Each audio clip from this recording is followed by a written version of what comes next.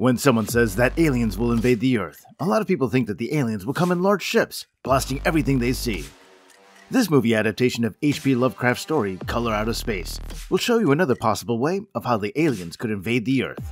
Welcome back, guys. It's Motion Recaps again. Today we're covering the 2019 sci fi horror movie, Color Out of Space.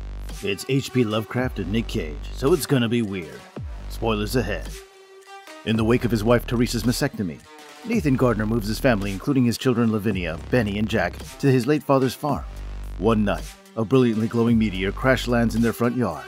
The next morning, hydrologist Ward Phillips, who's surveying the area for a dam development, shows up to see the meteor, along with the mayor and the sheriff of the nearby town. However, the meteor vanishes the next day, and a chain of strange events begins to occur. The family soon finds themselves in an incomprehensible situation as the color from the meteor begins affecting every living cell. Now, before I continue the breakdown, please take a moment right now and subscribe to this channel, like this video, and hit that bell icon to be notified of when we have another movie recap ready for you to enjoy. But for now, let's go ahead and enjoy this one Color Out of Space. The movie begins with a girl named Lavinia as she holds a ritual with the hope that it'll help her mother's battle with cancer. Suddenly, a guy named Ward sneaks up on her, and Lavinia is cautious at first.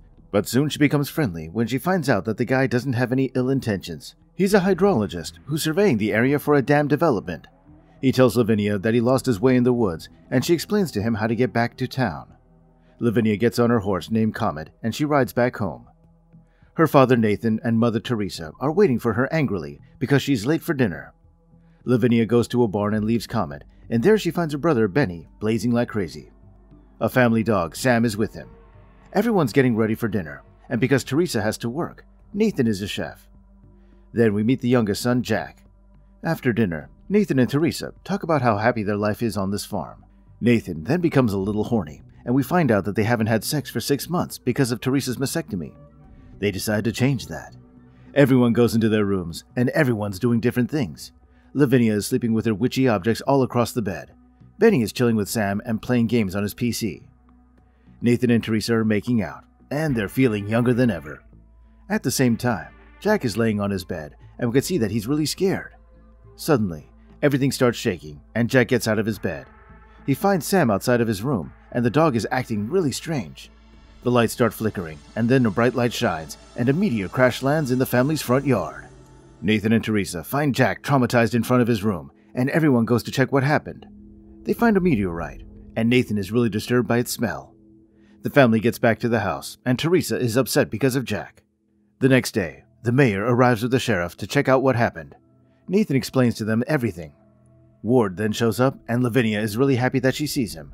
They flirt a little, and Ward goes to check the meteorite. The sheriff and the mayor leave, and Nathan tells Lavinia to go check on her mother. The three guys then check out the meteor better, and then Ward gets a special lesson from Nathan on how to milk alpacas. Teresa tells Lavinia that she saw her flirting with Ward. However, Lavinia denies that. Her mother then comments that she's dressed provocatively and that gets Lavinia mad. She runs back to her room.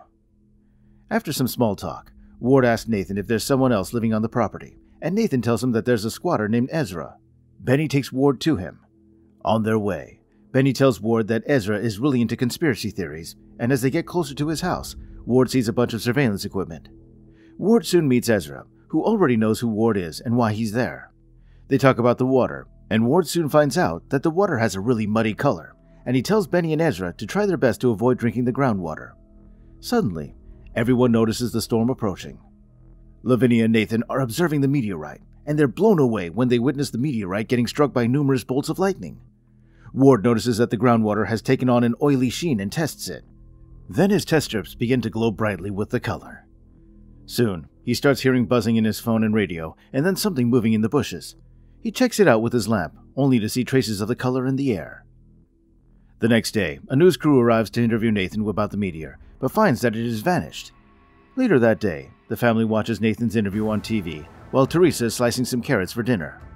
Nathan is so disappointed in his interview that he sends Jack to get Teresa to see that. Jack goes to his mother. Teresa cuts her fingers really badly, and Nathan immediately takes her to the hospital. The kids are alone the next day. Benny takes care of the alpacas while Lavinia is drinking coffee. She notices Jack whistling while his eyes are glued to the well. When she asks him what he's doing, he tells her to be quiet because the man from the well is talking to him. Lavinia starts feeling sick, and she goes into the house. She gets a phone call from Nathan, but she can't understand a thing because there's some kind of interference. Jack gets closer to the well, and he sees a strange plant inside of it. Suddenly, an insect comes out of it. It looks at Jack, and then it flies away. Lavinia tries to clean the mess from last night's incident. Then we can see the color in the water. Lavinia gets another call from Nathan, but she can't understand anything he's saying. She goes into the bathroom to throw up, and then she gets a visit from Ward, who warns her not to drink the groundwater. Ward then goes to visit Ezra to tell him the same thing. He finds Ezra listening to something. Ezra gives headphones to Ward, saying that he hears the aliens chatting underground. However, Ward tells him that it's probably some geothermal activity. He reminds Ezra not to drink the groundwater, and then he leaves. Nathan and Teresa are on their way back from the hospital when they almost hit a mutated cat with their car. Back at the farm, Jack is mesmerized by the color. Lavinia finds out that there's also interference with Benny's PC. And then he shows up, saying that time has passed instantaneously for him. Nathan and Teresa arrive at home, and Nathan lashes out at Benny and Lavinia with uncharacteristic rage because of the alpacas and Jack. Lavinia tries to tell him that something is wrong, but he doesn't listen to her at all. He takes the alpacas to the barn, and then he goes to take a shower. Nathan then notices that he has a small rash on his hands. Then he sees something slimy in the shower, and when he picks it up, it turns out that it's alive. The next day, Nathan notices that the tomatoes and peaches came in early this year, and they're also really big. After he harvests the fruit, he immediately washes them, but when he tries them, he finds out that they're inedible. He then goes into a fit of rage. Teresa snaps after losing a work client because of the poor internet connection. She goes downstairs to tell Nathan, but he's in a really bad mood, and the two of them have a fight. Nathan then pours himself some whiskey to calm down, and then we get to see how serious his rash is. That night, Lavinia tries to perform a ritual using the Necronomicon and offering her blood to save her family, mutilating herself in the process. Jack wakes up and he goes outside where he finds Benny looking at the yard, which now looks really different. Teresa wakes up, and when she sees that Jack is not in his bed, she goes outside. Then she sees her two sons heading into the barn. Benny and Jack find mutated alpacas, and the color attacks them. Teresa hears their screams, and she rushes to their aid, but in the process, a bolt of color fuses Teresa and Jack into a deranged mass. The following day, Nathan tries to start his car, but after he fails, rage consumes him. After that, he sees what the color did to his farm. The family no longer has a way out, and they can't call out for help as all the electronic devices have ceased functioning. Lavinia notices that the sunlight is harmful to Teresa and Jack, so they carry them to the attic. Benny then reveals that he had witnessed the alpacas after a horrible mutation due to the color. Nathan then takes his rifle and he decides to end the miseries of the alpacas. He's horrified when he sees that the alpacas merged into one big fleshy mass. Nathan kills them, and then he gets back to the attic to do the same with Jack and Teresa. However, he has a change of heart and he decides to spare them. He kisses Teresa and then leaves. At the same time, Ward finishes talking with the mayor about the dam. He gets outside and the sheriff calls him to show him something. A resident discovered a body of a fused mass of animals near Nathan's farm. Ward immediately heads there together with the sheriff. Lavinia and Benny conspire to leave the farm on Comet, but it seems that the poor horse is affected by the color as well, and it runs away. Benny then tells Lavinia that he hears Sam in the well, and when he goes to check it out, he tells Lavinia that he saw something moving down there. Lavinia tries to stop him from descending into the well, but Benny doesn't listen to her, and then he gets assimilated by the color. Nathan shows up, and he grabs Lavinia. He shows more of his uncharacteristic rage, and he tells her to go feed her mother and brother. Lavinia begs him to let her go, but he doesn't pay attention to that, and he locks her in the attic anyway. Ward and the sheriff show up, and Nathan lets them in. Ward sees Nathan's rash, and then he figures out that Nathan lost his mind completely because he's acting like the whole family is sitting in the living room. Ward and the sheriff hears Lavinia's screams, and they break into the attic, only to see that the monster is trying to eat Lavinia. Fear consumes Ward and the sheriff. However, Nathan shows up and he kills the monster. Ward picks up Lavinia, and they leave the house.